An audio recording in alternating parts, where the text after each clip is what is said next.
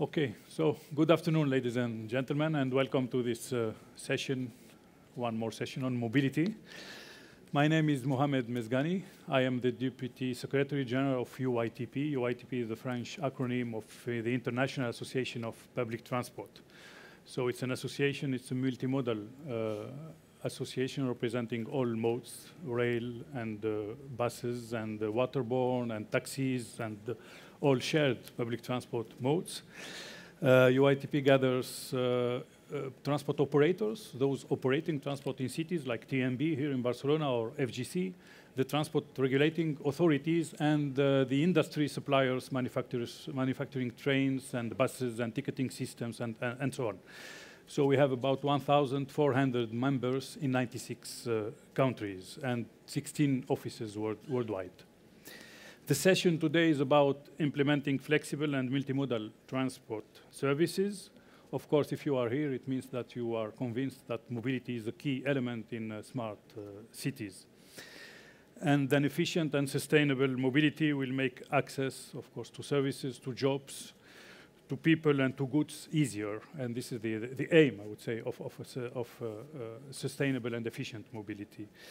So to make it easy and comfortable, safe, for, and affordable for people to move, uh, it's essential to offer multimodal door-to-door -door mobility uh, solutions.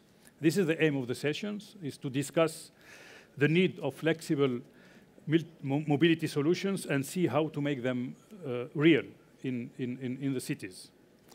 So I would like, before maybe starting, reminding that, and, and maybe you, you may not agree, but I think mobility now is experiencing a transition transition at, at different uh, levels.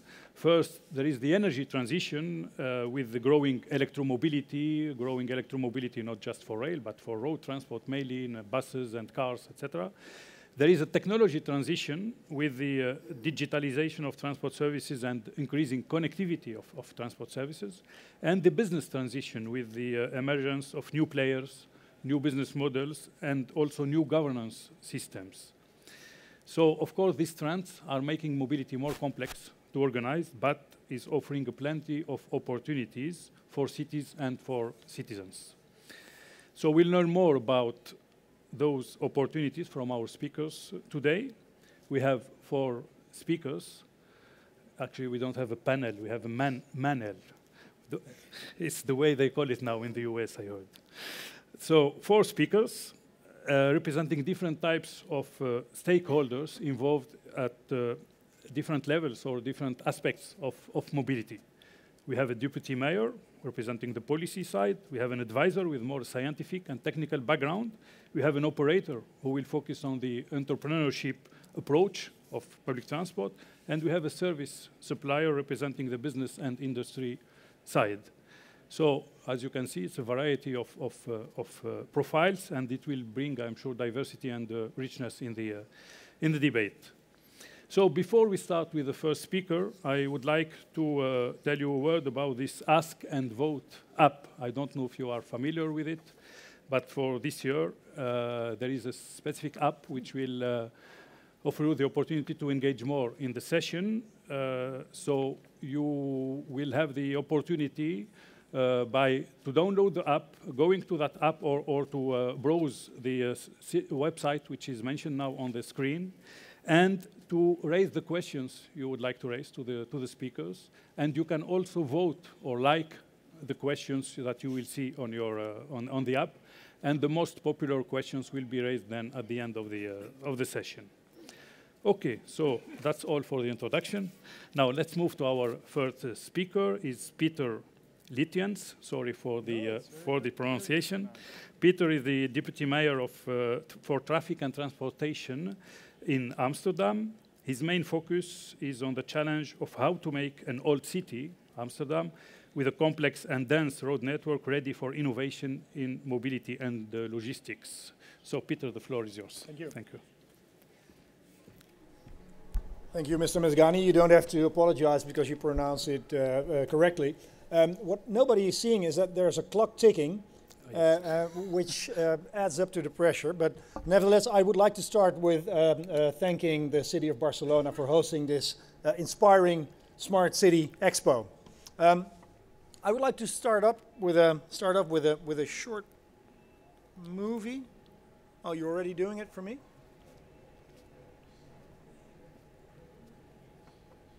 Yeah. You'll be seeing it in a minute. Can we have I the hope. movie, please?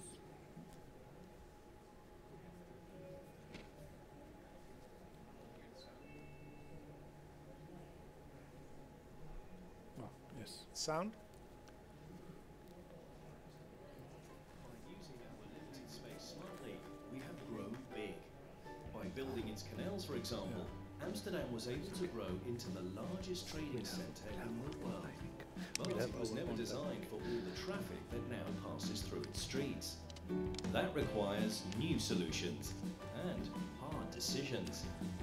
If we want to grow, we have to deal smartly with the space we have. Now, more than ever, we are able to use data to better manage traffic flows and to better understand them. That will cut out unnecessary traffic in the city. Amsterdam and innovation go hand in hand. Innovation is being encouraged by the city by supporting research into the opportunities and challenges presented by self-driving cars, for example, but also by selecting projects on the basis of innovation, like the transport of vulnerable groups. And rather than spending a lot of time deciding on one all-encompassing solution by carrying out experiments straight away, let's see how well cycle highways really work and how we can reorganize urban logistics by using the canals again. Thanks to technology, mobility is becoming more personal, and it means that everyone is able to make the fastest and smartest choice that is right for them. This and more is smart mobility, and we are always looking for new ideas and partners. That way, we can keep our city accessible and enjoyable for everyone. Well, ladies and gentlemen, um, I would like to tell you uh, something about Paul. Paul is 14 years old. Uh, he has multiple disabilities, both physical and mental, and he needs a great deal of care. A great deal of care is therefore unable to live at home. He lives in a residential home, a residential home with other children like him. And in daytime, Paul goes to the day center where he receives supervision and care. But that is in a different location to where he lives. It's not that far away. Amsterdam is, Amsterdam is not that big after all, but Paul cannot get there himself. Paul and the other children from the home travel in shuttle buses. They only leave when they are full because otherwise it's not very efficient for the drivers. And the result is that they often have to wait for a long time. That needs to be improved and organized much more smartly. That is why the Amsterdam City Council is working in partnership with the Delft University of Technology and private sector parties to see if Paul and the other children can be taken to the day center in self-driving vehicles. The district where they live is fairly new, so the streets should be suitable. The big challenge, however, is making these vehicles completely safe for the vulnerable group. A short leap in time forwards. It's 2020. Laura has just moved to Amsterdam, to Sluisbuurt district. She does not have a car, not that she, well, she cannot have one in any case. Not because she doesn't have a driving license or because she does not want to own one as a matter of principle, but for the simple reason that there's not enough space in her district, in the area where she lives, for everyone to park their cars. And in exchange, her local authority ensures that Laura, with the help of an app on her phone, is able to use all the various transport options that are available public transport, self driving shared cars, shared bicycles, all via the same app. And by bringing together every available option, the local authority is making it easier for the residents of the Sluisbuurt district to choose the transport option that best suits their needs at any particular time. This is how Amsterdam is encouraging mobility as a service. Smart mobility and mobility of the future are, for me, not just about how cool and remarkable an innovation is, but more especially how it can be used. How can we use it to improve the lives of the people in Amsterdam? To keep the city accessible? To make it easier for people like Paul? As deputy mayor, I consider what these innovations mean for the decisions that people take as a city and the investments that are made. Self driving car, it's a good example of this. Amsterdam asked the BCG consulting firm to investigate the impact of self-driving transport on the city. And it showed that it could lead to more cars on the streets. That is because self-driving cars would become a type of private taxi. Fast transport from door to door. We in Amsterdam, therefore, need to look now at how we can make sure that people share their journeys, especially as the city is going to get busier and busier. More people are moving to the city, and the number of tourists increase, is increasing every year. And that is why measures are needed. I recently closed one of the most important through roads in, a, in the center of the city. And that was because research showed that a large proportion of the cars that it used had no real need to do so. Doing this means there is now more room for cyclists, pedestrians, and, and public transport in the heart of the city of Amsterdam. And what about the cars? Well, it seems that they have found alternative routes using the wider roads that are intended for that purpose. And this decision was entirely based on facts, figures, and a thorough analysis of those facts. It was not based on political dogmas. As a deputy mayor, I have to look to the future. How do we make and keep Amsterdam accessible, even though it's getting busier all the time? Fast-moving technological developments will help us, because so much is possible that we could not even dream about at the turn of this century. Smart mobility using that technology and bringing the parties together who can conceive new things and put them in good use. What I do not want is to build a city that in 20 years' time will be perfect for the transport needs of 2016. We have to work hard to make sure that the Amsterdam of 2036 is perfect for transport in 2036. And one very efficient solution to keep the city's traffic moving is so obvious for the Dutch that we oftentimes altogether forget its impact on the city. The bike. It's cheap, it doesn't need a lot of space, and it's good for you and the environment. So it pays off to invest in bike infrastructure. That doesn't only mean bike lanes and bike traffic lights, but also bike parkings. Amsterdam is investing 170 million euros in bike parking solutions near big public transport hubs. Bikes are a brilliant innovation, especially combined with other means of transport, multimodality. Take the train from The Hague to Amsterdam, and for the last mile to your office, you take the public bike. In the inner city, a bike is quite often the fastest way to move around, faster than a car. We are working together with inno innovative companies like TomTom and Google in order to improve traffic flows and to provide people with real-time travel information. The canals are narrow, they were, were originally built in the era of the horse and cart. So a removal lorry can cause considerable holdups. If you can see that on your navigation app, you can immediately decide to take another smarter route. We are creating a network of 4,000 beacons together with Google that travelers can use to better plan their routes or reserve parking spaces. And another area where significant benefits can be had from new technology is that of logistics. Delivery vans swarm around the city, going from door to door, dropping off new shoes, three-piece suits, crates of shopping, and this can all be done much more smartly. Together with a team from the City Council, with MIT and other private parties, we are looking to the various possibilities. Self-driving boats on our world-famous canals are one option, for example. The canals were originally built to transport goods, so why should we not use them again for the same purpose? Business in the city, hotels, restaurants, and shops can also contribute to make agreements with the suppliers on smartly combining their deliveries. Algorithms can be used to optimize the routes taken, so there are many opportunities there. Ladies and gentlemen, we live in exciting times. There are so many things that are possible, and I find it tremendously encouraging. I have much hope for the city of the future, smarter, cleaner, more livable, and by taking decisions now, putting the focus on what will be achievable tomorrow, we can actively shape that future today.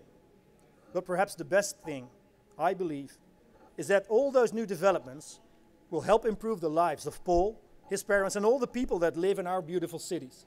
I thank you for your attention. Thank you. Thank you very much, uh, Pieter, and thank you for uh, emphasizing the need to have a combination of solutions at the end, a combination of options. It's not only by promoting or, or, or, or, developing one mode against the other one is, is the, the, the solution lies in the, uh, in the uh, combination of all options and that uh, transport is a long-term effort. It's starting now to build the city of the future. Thank you. So our next uh, speaker is Alvaro Nicola. He's from the Barcelona City Council. He's the mobility advisor of, at the Barcelona City Council. And uh, amongst other, he was responsible for uh, comparative, uh, developing comparative analysis on urban mobility networks. But uh, today he will uh, speak about the urban mobility plan of Barcelona with a focus on intermodality. Please.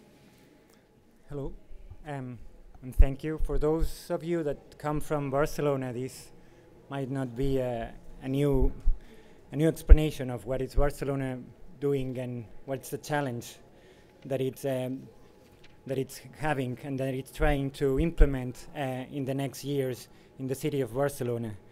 Um, first of all, and also main, mainly I, am aware that you, you might be aware of, of what are the challenges that the city has with regards to the, the environment and, and this shows what, what are the, the externalities of, of driving cars in cities and, and, and also um, the, the, the public health problem that it's causing for everyone that it's uh, living now in, in, in Barcelona. Then it's the problem that the, also the traffic it's causing to um, with with the noise. I mean, mo most of the daily noise that happens during daytime in Barcelona comes also from traffic, and also we have the issue of, of accidentability. So these three uh, main indicators are the are the are the are, are the engine that are, are behind um, all the all the challenge of, of, of changing the, the mobility paradigm that Barcelona has.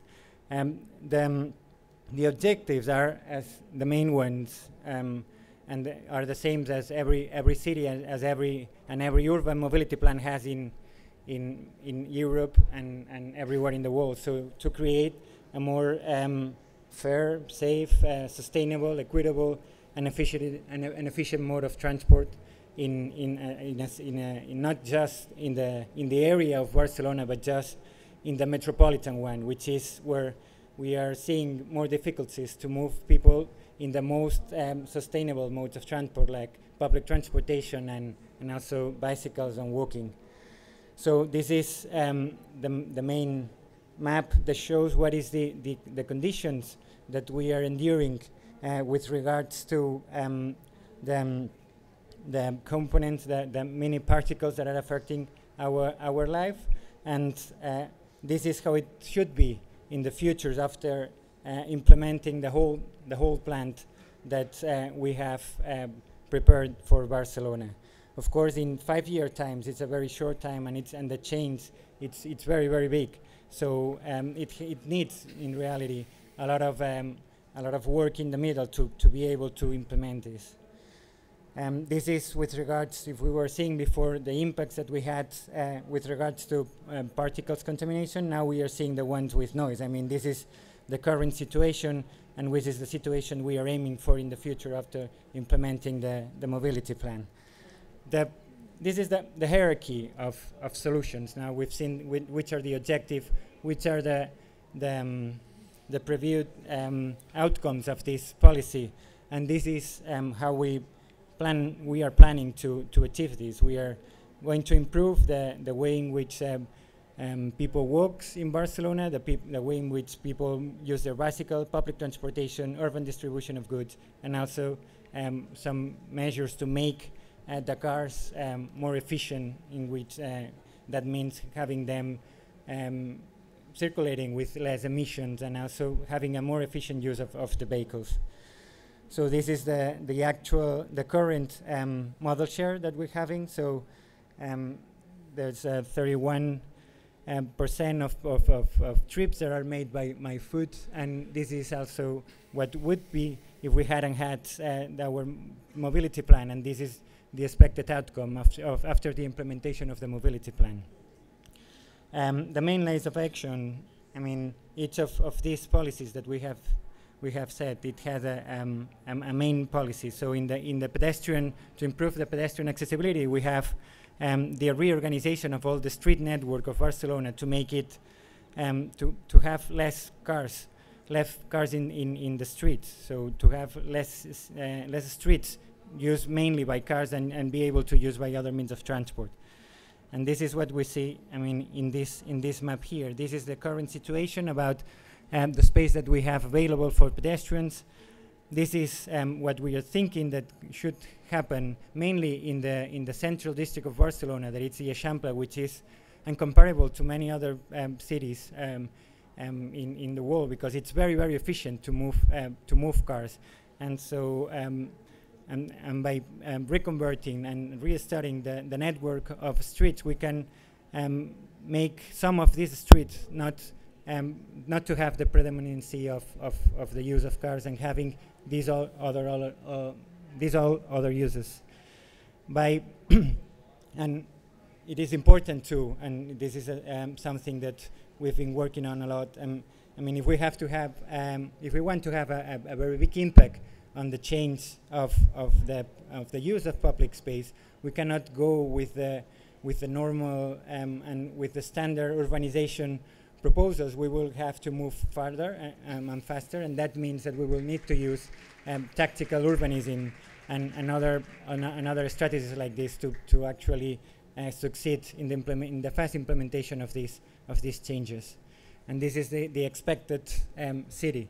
So we will pass from something like this to something like this with regards to the um, with the space uh, for that it's um, prioritized for pedestrians and bicycles. Bicycles, we are also working on this. We are going from 72% um, of people that are covered for the by the bike networks to 95%. We are working in this. This is one example of, of the bike lanes we are developing. Also, as, as commented uh, as our for Pieter by Pieter, I mean the, the um, bike facilities to park cars, uh, to park bicycles. It's also very important. Um, and also, uh, and, and we are going closer to what is uh, really important for this presentation and to, to have a more flexible and multimodal um, mode of tr um, transport system in Barcelona. We, we work a lot in everything that has to do with, uh, with intermodality intermodality in, in, in, in, in train stations and in bus, in bus stops, and also um, all the other um, main um, places where um, like equipment, like health centers and, and universities and other places where we should provide for this type of, of parking. Um, the, the biking is also a very key element, which is the public bike system that, uh, that it will help to extend further than um, the, the, um, the, the, the, the, actual bus or metro stops um, for the users of the public transport to, to do the last mile. And then the main proposals, and I have like um, well one minute to, to end explaining this. It's the, the, all the reorganization of the of the bus network. Bef this was the bus network before of, of our plans, um, which is like every bus network with a, a, a huge historical um, uh, background, which means that it, it, came, it comes from the previous um, tramway networks of Barcelona, and it has developed historically into, the, into this network, which is at this moment very difficult to understand to everyone that it's not using um, the bus network in Barcelona. And this is what we, we aim to have in, in, the, in the near future. It's not that we are converting every line. It's what, what, uh, what the work that we are doing is just selecting those ones that are more able to to um, to become uh, to have a more clear um, um, route, just to convert it into into this specific um, network that would that will help people from just by one interchange between two um, bus bus lines to to access every everywhere in the city. So by creating that um, that ne network that it's uh, orthogonal or rectangular, we will be able to goes just by one interchange to, from every, everywhere in the city to everywhere. Um, that helps us to uh, be more specific in the areas in which we provide this, this, um, this service and then to increase the, the frequency. This is a very important part for this. And then to work a lot in these interchange points and also work with not just with the, with the central, um, with the main network serving Barcelona, but, but with all the other networks that are serving um, Barcelona, which means um, all, the, all the buses accessing Barcelona. Um, we are working in other uh, big projects of, of public transport, as, as I showed in the previous um, sections, but I'm, I'm running out of time. So tramway, it's another important uh, project in which we are working, and we are also finishing um, the, the, the, the line number nine, which will be a, a, very long line that gets from the, from the north to south of Barcelona, also connecting the airport.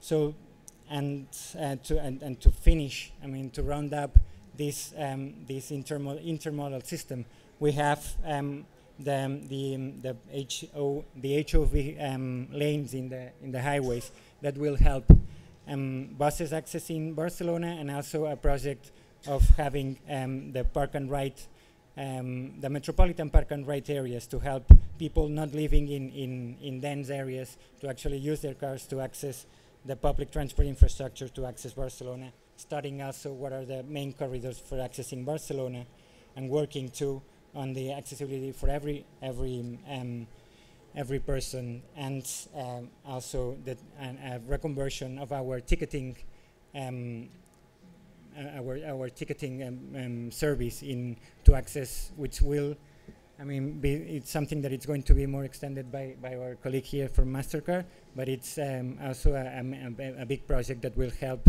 making public transport uh, more flexible and, and more multimodal. Thanks. Thank you. Thank you. Thank you very much. It's, each time is uh, impressive to listen to the presentation and to see the presentation about Barcelona like with, the, with this uh, Barcelona model, I would say, with a structured and very hierarchized uh, approach for, uh, for mobility. Thank you very much. So our next uh, speaker is uh, Jesus Padilla. He's the president of the uh, Mexican Association of Transport and Mobility and the public transport entrepreneur, actually. And he has been promoting transport modernization in Mexico City. And so he will share with us the, his uh, approach for uh, public transport in, uh, in Mexico, and his speech will be in Spanish. Please, the floor is yours. Muchísimas gracias. Muy buenas tardes a todos. Gracias por la oportunidad de estar aquí con ponentes tan destacados en una ciudad tan hermosa y en un continente tan lejano para nosotros. Eh, después de escuchar a mis compañeros, me parece que el tema de la intermodalidad radica en la realidad de cada uno de nuestros países, de nuestras ciudades. Yo solo quisiera comentarles que en la zona metropolitana del Valle de México, con un poquito más de 22 millones de habitantes, nos deben de estar sobrando aproximadamente unas 30 mil unidades de transporte para que tomen una dimensión nos sobran 30.000 unidades de transporte. Gestionar estos temas se vuelve un asunto bastante complicado porque en tema de intermodalidad tenemos todo tipo de vehículos prestando servicio de la manera más ineficiente posible. Y por lo tanto, cuando uno estructura, cuando uno disciplina los servicios de transporte, evidentemente se asegura uno que el servicio tenga una frecuencia, que pase con regularidad. Nosotros lo hacemos muy bien porque somos tantos que pasamos todo el tiempo siempre hay servicio, pero nos hemos vuelto muy ineficientes en esa parte.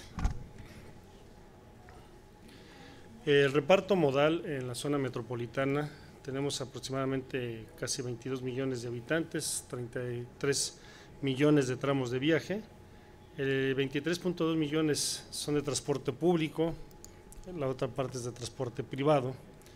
Hacemos aproximadamente 8.7 millones de viajes por día en auto privado y en taxi el problema de la motorización y saturación en el Valle de México y en la capital nos ha llevado a una crisis ambiental muy severa, eh, con problemas donde se están descansando en algunas ocasiones hasta dos millones de automotores al día. Y aquí tenemos un conjunto de imágenes de la tipología de vehículos que tenemos, inclusive hay vehículos más pequeños, más viejos, el último que se encuentra hasta abajo ya tiene prácticamente 30 años de vida útil, casi donde chocan se desarman, y es resultado una inadecuada política tarifaria que es diferente en cada uno de los estados de la República Mexicana y donde se resuelve, se resuelve con criterios más políticos que técnicos. Aquí tenemos la evolución de la longitud de modos de transporte de mediana y alta capacidad evidentemente el comportamiento del metro, los buenos momentos donde tuvimos recursos en la capital del país para poder hacer metro. Ahora cada vez es más complicado utilizar recursos para el transporte masivo, pero entre más masivo mejor. Y en esta proporción de servicios hemos ido alcanzando eh, alguna proporción que permite mejorar las, los niveles de seguridad y de traslado de las personas. Para el 2018 estaremos estimando 500 kilómetros de servicios de líneas de mediana y alta capacidad, de los cuales cerca del 40% serán sistemas de carriles confinados, con flexibilidad, accesibilidad, serán menos invasivos, tendrán un menor costo y serán mucho más simples en su implantación. La flexibilidad del sistema Metrobús para la capital implica inversión pública más inversión privada. A diferencia de muchos países del mundo, en nuestro país, en México, el transporte está concesionado a personas individuales, les denominamos hombre camión, la mayoría son dueños de su vehículo y por ello hay una anarquía impresionante en la prestación del servicio, donde no somos competitivos, pero sí competimos entre todos eh, echándonos los vehículos, correteándonos, peleándonos el pasaje, lo que llamamos guerra del centavo, y prestando un servicio de muy, muy mala calidad.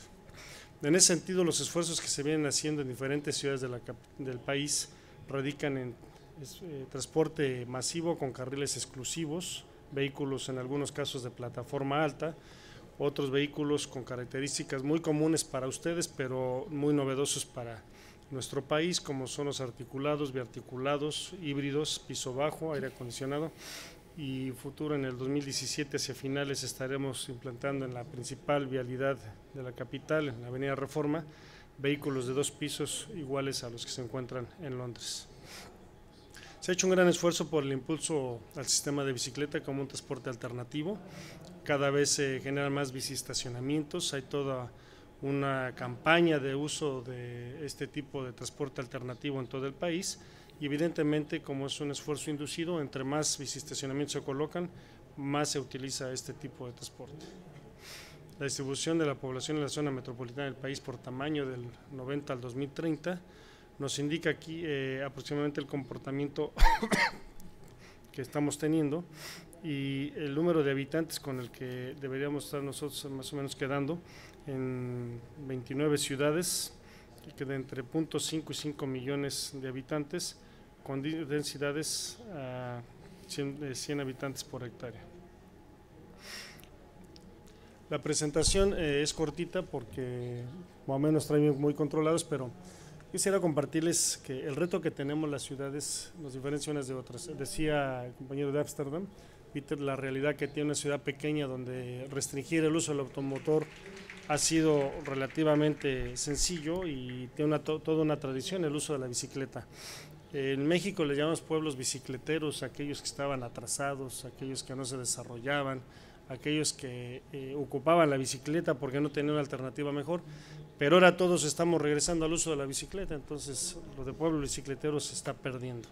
Ciertamente tenemos un reto extraordinario, eh, no tenemos subsidio para el transporte público de pasajeros, no tenemos todavía una política clara de cómo integrar los diferentes modos de transporte, eh, no hemos definido una estrategia nacional con una ley nacional que pueda hacer homogéneo los esfuerzos desde las características y configuración de la flota, así como la definición de los diferentes métodos para cálculo de las tarifas. Y estamos en un proceso intensivo, pero todavía muy lejos de las necesidades de planeación adecuada para la implantación de nuevos modelos de transporte que aseguren la calidad en su prestación de servicio. Seguramente estos retos que estamos viviendo en México los estaremos eh, eh, prácticamente superando en los futuros años. Hoy tenemos no solamente retos de orden tecnológico, parece que la tecnología resuelve todo, pero la tecnología cuesta y un teléfono de, de 100 euros puede hacer lo mismo que un teléfono de 1000 euros. Eh, nos, nos estamos dando cuenta que es complicado acceder a tecnología que donde no existe la política del subsidio y la tarifa no es competitiva, pues no tenemos condiciones para acceder a ella. Eh, para que se den una idea, la tarifa promedio en nuestro país debe estar en el rango de los 25 centavos de dólar, 20-25 centavos de dólar. Por lo tanto, en ese sentido podemos tener eh, tecnología eh, vieja Eh, estamos apostándole más al tema de emisiones contaminantes que de accesibilidad y en ese sentido creo que los retos que tiene el país todavía son muy grandes. También el tema de la flexibilidad y la multimodalidad está en cómo se conceptualizan las cosas. Me parece que cada traje a la medida, cada quien tiene que tropicalizar su realidad de acuerdo a sus condiciones y características de desarrollo que ha tenido, no solamente por el tema de la tecnología en material rodante, sino por las condiciones de los pavimentos, el diseño y propia planeación de las ciudades, y en esa medida creo que los retos que tenemos en el país todavía son muy grandes. Muchísimas gracias.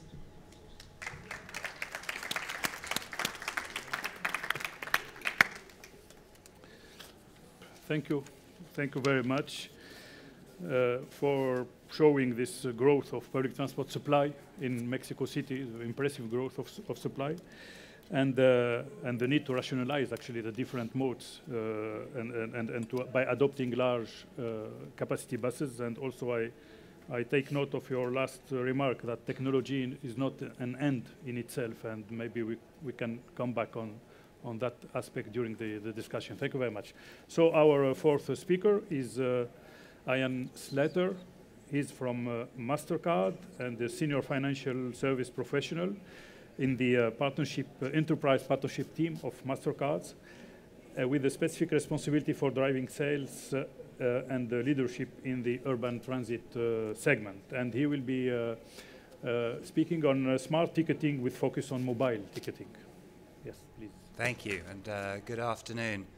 I think some of you may be wondering why a credit card company is up here standing talking to you about multimodal um, transportation systems. And it's a good question. I mean, I got a text from my wife this morning asking me exactly the same question. Um, so hopefully, I can address some of the some of those questions during the course of the presentation, and, and I'll take the presentation home afterwards and show it to my wife. I think the important thing to grasp is that we talk about cities, and you come to an event like this, and there's lots of people showing different things of a wide variety of, of different goods and services. From companies like a MasterCard, a Microsoft, there's guys out there talking about smart bins. There, there, are a lot of bits and pieces um, available for you to think about. And the reason for this is that we are now living in the age of the city, much more so than at any time in, uh, in mankind or, or, or in history. You know, if we think about the development of people as people moved into cities during the industrialization age of the past 200 years, that is really peaking now. We're at a situation where half of the world's population now lives within cities, and by 2050, that will be at 70%. And this brings with it vast, vast challenges, both for those who live within the cities, but also those of us who come and visit, be it for something like this or for pure touristic reasons we see that 6% of uh, growth in tourism year on year is taking place, which outstrips most other forms of commerce. And people come to cities and they want those cities to be as livable in as um, the people who live there. But this brings with it significant challenges. So traditionally, people are basing transit on cash. But cash is slow, it's dirty, it's prone to fraud. You see the, the middle, uh, no, the first, uh, the first of the round circles there where it says congestion. That's a picture from Bogota, which shows people getting on buses to go to work. Cash in that type of environment is hugely inefficient. If every one of those people has to stand up and hand over their cash to get on the bus, that line is only going to get longer and longer and longer, take people longer to get to work, and increase the number of social ills within society as people struggle to, to get to work on time and earn the money that they need to feed their families. So you have congestion, you have cash, you have significant overcrowding on transit systems. So one of the things that most transit operating providers and most cities want to know about is how can I move people around that city in an efficient way? How do I get them from point A to point B without them necessarily all congregating on point C at exactly the same point? How do I communicate effectively to my citizens and convince them of the, the way that um, is most efficient for them to move around my city. And then finally, we've, we've heard about this a lot with the, the talk of kind of uh, public transport and bicycles and, and low emission vehicles. Pollution is a significant issue, both in the Western developed markets, but also significantly, as we heard about from Mexico, in, in some of the more developing markets as well. You know, pollution becomes a real way that holds people back in their daily lives. And as more cars get on the roads, more people move around, then pollution only increases. So we as MasterCard, we look at some of these things and we can help with some of these issues. We can't help with all of them, but we can help with some of them. And in many cases, working with partners, we can bring solu- solutions to cities that start to directly address them. And that is, that is why I'm here today, to talk about some of those things that, that, that we can help with. I want to highlight in particular the middle, the middle bucket there, or the middle button, where you have 300 local smart card systems around the world. Pretty much every city in the world is very proud of its uh, local smart card system. Um, they each have set it up, they've invested a huge amount of money, they've named it after um, some form of, of marine animal, be it oyster, opal, orca, octopus, something of this nature. But each of these are generic to that particular city. They don't interoperate with anything else. And one of the rites of passage for anybody to feel that they belong in a city is their ability to navigate the local purse scheme, their ability to load and maintain that particular um, scheme and make it work for them. If you're a tourist, that is a huge turnoff for you arriving in a city. So if you only have to go to any major city in the world, and the first thing that you see as you come out of the airport and access the public, um, public transport system is lines of confused tourists who may not necessarily speak the language of that city particularly well, trying to work out how they buy a ticket to take them into the town that they've just come to visit. And that's a very negative experience for a lot of people. And a lot of it is born out of the fact that each city has implemented its own local purse scheme. People are terrified that they're going to get arrested on their ride into town. In their first day in a city, they're going to get arrested for not buying the right, the right ticket on the way in. And everything that a city can do to improve that process not only makes their city more livable for their citizens, but it makes it significantly more attractive for people coming to visit it as well. So, what does all that mean? Well, I think it means that um, we talked about multimodality, which is, which is a horrible phrase, but I think one of the things that we mean by that is that we are at a point of convergence. We're seeing that a number of things are all coming together at the same point in time to create um, a unique moment where ticketing, the use of mobile phones, and payments all come together. And that is why MasterCard feels it has a role to play in this. Because if you look at payment and you look at the interface with payment on mobile and then the delivery of a ticket through that type of infrastructure, MasterCard has a very relevant role to play for that side of things. So we have been working with cities around the world. Um, we've implemented open loop contactless ticketing in, in London, being the best example, but not just in London, in Chicago, Singapore has announced that it will go open loop um, early in the new year. Sydney will go open loop next year. And we see a raft of uh, cities moving to this ticketing type, away from the old purse-based system. And for good reason, it's significantly more efficient. Uh, we see closed-loop mobile ticketing-based systems coming into play, again, backed by traditional payment cards. So you can see this in, in Athens and, and also most recently in New York but in other cities as well, in Boston, in uh, San Diego, in a wide variety of, of different cities, implementing very quick QR code based ticketing systems. It's quick, it's cheap, it's efficient, it doesn't require anybody to swap out any gate lines, it doesn't require huge infrastructure implemented. And so, particularly in um, cities that want to move very quickly to a, um, a mobile based ticketing system, as well as more developing nations, that type of option is very important. And then finally, we still see closed loop kind of hybrid type products where you have a transit purse and um, a kind of non-transit payment purse on the same card. Mumbai and Bogota being the best examples of those types of things. All of these things go a long way to transforming the travel experience within a city. So if you look at London, this slide specifically refers to London. We've got 200 million tourists coming into London every year. All of those can now just tap and go when they arrive at Heathrow or any of the other airports. Don't have to load an Oyster card, don't have to buy a ticket. As long as they've got a contactless card, they tap in, they tap out, the system correct, calculates the correct fare, they need to do nothing else. Same is true for people moving around the city as uh, those of us who live there. Same deal. Tap in, tap out, no buying tickets.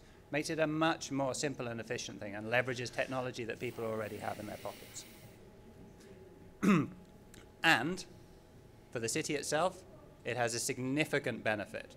So we have seen in London a 30% reduction in, um, uh, sorry, we've seen a significant, yeah, between four, yeah, 5% reduction in the cost of the amount of, of a, a transit system, ticketing system to the city. So each ticket used to cost the City of London 14% of the fare that they collected. With the implementation of OpenLoop, it now would cost them 9%. We've got 7.7 million journeys a week and growing week on week. It's been a very big success and, and a key kind of um, use case for the rest of the world. But we're not just talking about contactless in terms of card, but also increasingly leveraging of the mobile. And the best way to do this is ticketing on, on the phone. So here we have an example of um, Athens, where they implemented ticketing on the, the phone about a year ago, and also in Boston. So both cases, the individual lodges a card on file, they can buy a ticket, they get a QR code, they scan the QR code, or the QR code is inspected by um, a, a, a ticket inspector, and that's all they need to do. Very quick, very efficient. Took about three to four months to set up in each of these cases. And this has recently gone live in New York. So if you ride the rail into New York from any of the main kind of commuter lines, you can now use the, the QR code-based app to do that. There's about 174 million rides a year coming into New York. There's now no need to queue up to buy a ticket. For those of you who've done it before, it's, it's not a great experience and takes out a huge cost of fare uh, collection. We're seeing about 200,000 unique uh, new rides on the system month on month. It's been live since about September with a significantly improved user experience. It's been a big kind of um, a big benefit for, for people who, who ride the, the rails and for those of us who work for MasterCard because the MasterCard headquarters is just outside New York. So we have to use this system. But what does this mean? All of this brings back to the point that there are a number of different options that a city can use and they start from ticketing, but we shouldn't necessarily think that they end there. Because the key thing about all this is that it generates data. And cities want data. So they can improve the way that people move around by paying for their tickets, buying different things. They can leverage different the same ticket type across different types of transportation. But out of this they generate data. And from that generate that data they can learn who's in their city, where do they go, what type of people are they, what do they like, what don't they like, and then they can communicate effectively to those people and the leveraging of a mobile-based platform only helps that piece. Then you can know, you know who lives in a particular city, what type of services do you need to deliver them, what type of individuals are there, do they need old people's homes, do they need creches, what type of shops should you encourage into them, all of those types of things. And you can communicate to them about what's going on on the transit network at that particular time. You can tell people when there's a problem with the bus. You can reroute them, you can put them onto a different thing. But all of this comes from the fact that A, you have an open infrastructure in terms of ticketing, and then the ability to leverage the data behind it. Thank you.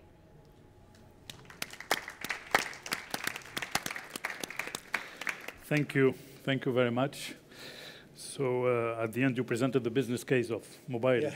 ticketing, and uh, if you are not uh, still convinced, we can elaborate further and uh, yeah, business case because it's make uh, it makes public transport easier to use at the end for the uh, for the and, and more attractive for the customers, more efficient uh, from the operator's side uh, with the shorter transaction times, so better better uh, efficiency in operation, and more cost cost effective because we have lower investment compared to traditional uh, smart ticketing system. Okay, so we listen to our uh, four speakers. I think you were so many, so, so, so concentrated and focused on the presentation that you didn't raise a lot of questions on, on the app. So I have only two questions. But if you have uh, more questions, uh, if you want to, to, to, raise your questions, we can, we can take more from the, from the floor. So the first one, uh, could you please explain how oh, oh, and, and who are the main stakeholders and how they collaborate inside the field of urban mobility. So who would like to to jump in? Yeah, it's a general question. So for those who are uh, involved in managing stakeholders, maybe yeah, you, well, we Pieter. yeah. This works. Yeah. Well, one of the major concerns is how to manage stakeholders in policy, but um, well, when it comes to stakeholders in in in, in smart mobile? Yes, okay. Uh, people living in a city are the, the, the main stakeholders. People living in the city, people visiting the city. And I think that's one of the things we could learn in Amsterdam from a city as Barcelona, um, uh, how to involve people living in your city, uh, uh, considering them as experts. They're experts in their own city. And I know that Barcelona has a well a tradition in the last few years of um, uh, using all that information of their citizens.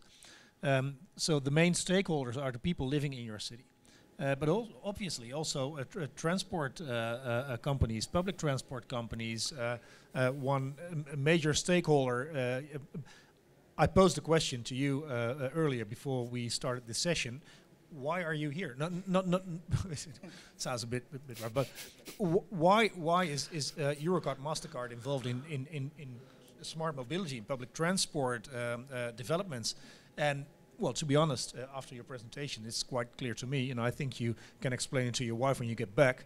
Uh, won't be uh, a, a, lot of uh, problems to, to, to explain it. But um, one of the main, well, basically, um, the main stakeholder is the person living in your city, using uh, uh, uh, his bike or public transport or his car, uh, uh, being unable to park, stuck in a traffic jam. Those are the real experts you shouldn't ignore. Yeah, yeah, yeah. Thank you. Uh, yes, please. I said something. I think one of the important things is that there are many stakeholders, and we have to recognize there are many stakeholders, both in terms of the agencies of the city and the suppliers that they contract with to, to deliver a service. And the key learning that we've found is that for these projects to be successful, those agencies and actors need to learn to collaborate together on a common platform.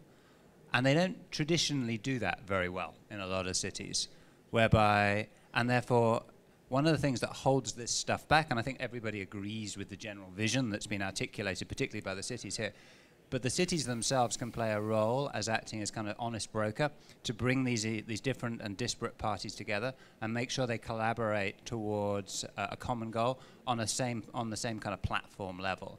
And we as as suppliers, as as third parties, we need that in order to be successful. Okay. Thank you.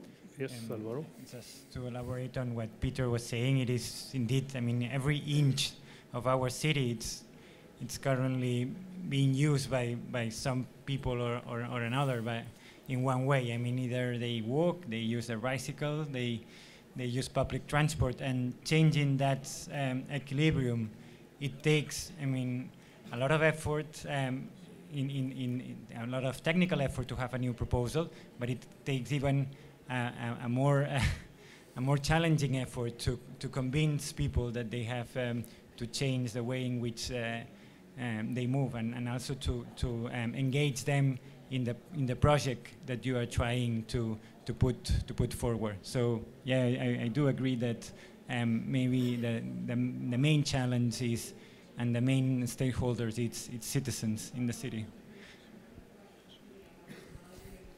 Yo creo que es muy importante que los actores de la movilidad logren un concierto de voluntades. Deben ser autoridades, debe ser academia, debe ser consultores, proveedores, los operadores y desde luego todo esto tiene que estar en concierto a favor del usuario. Me parece que en la medida que ellos se logran poner de acuerdo empezamos a darle sentido no solamente a la tecnología inteligente, sino al uso inteligente de la tecnología.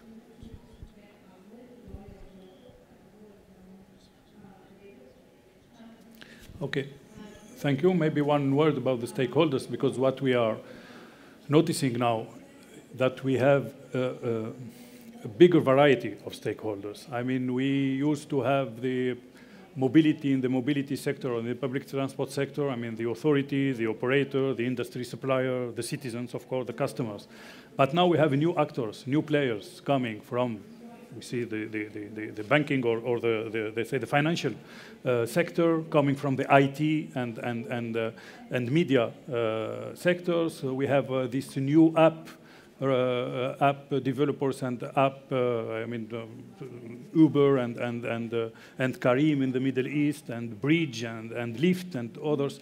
And the challenge is really to, to, to organize mobility with the involvement of all these stakeholders. Uh, and, and we still need to find the right way to, to, uh, to organize the mobility sector with the involvement of each stakeholder because uh, it's not, it's the, the, the, the, the aim is not to exclude stakeholders, but to organize the, the, the role of each. Okay, is there any other question from the, from the audience? I have one on my tablet, if you don't have. Yes, Robert, please.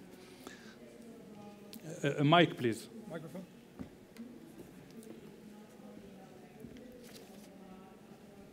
Two questions to Mexico. I heard that uh, the share of ladies using the bicycles increased tremendously in Mexico City.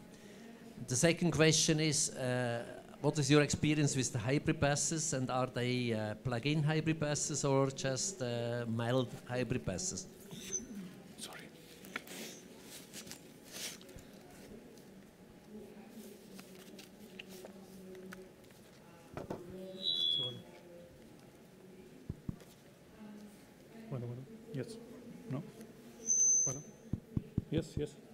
Bueno, respecto a la primera parte del uso de las damas, las mujeres en, el, las bicicletas, nosotros tenemos ya el 52% de las mujeres ocupando el transporte público de manera general.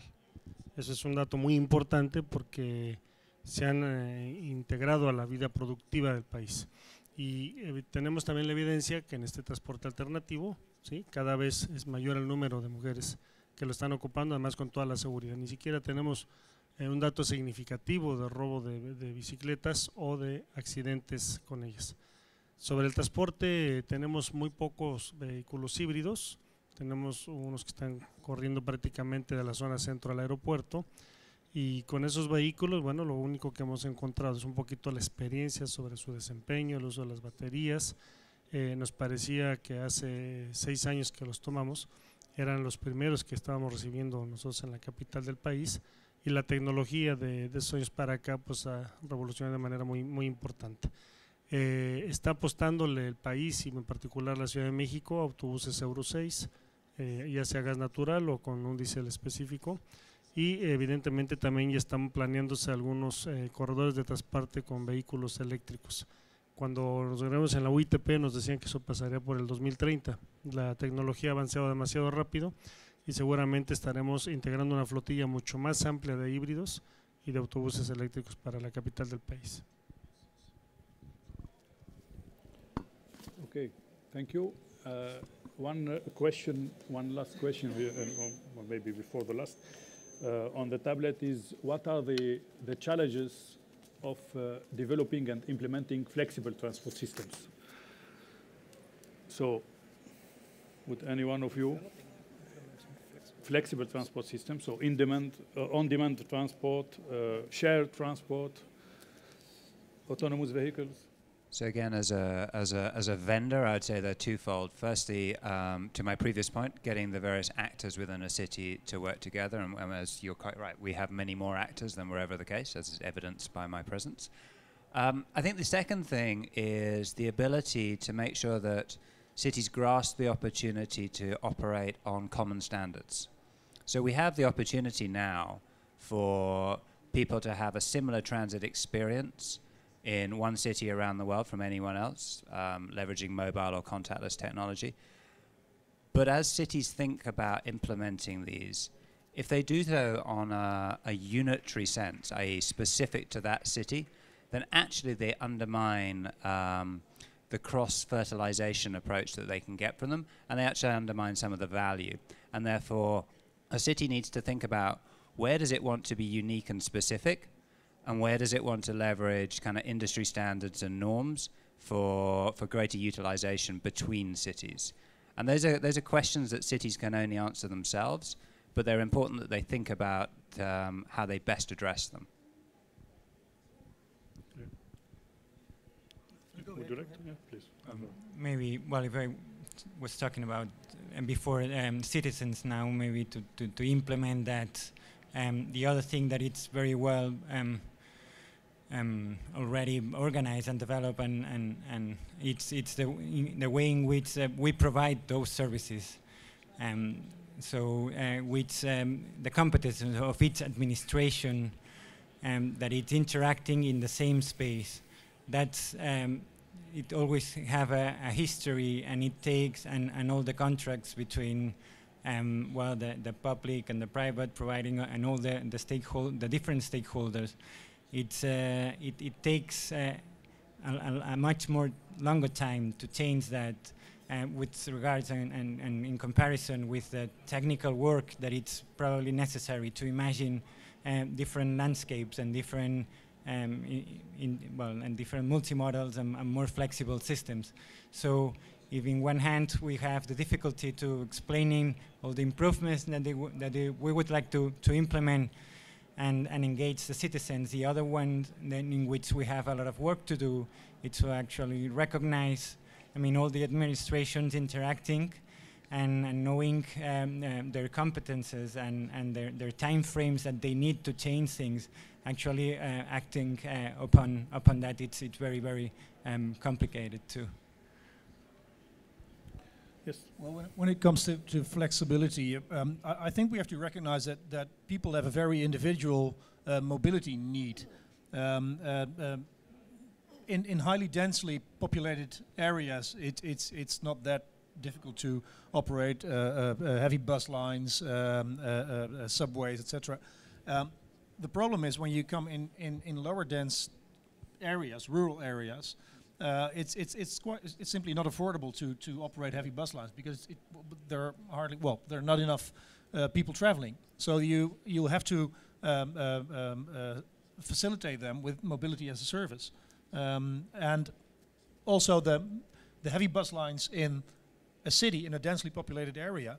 Um, the problem with public transport is that the the bus stop is not well often not the place where you live and the bus stop where you where you end up your journey is mostly not the uh, the place where your office is or your house is.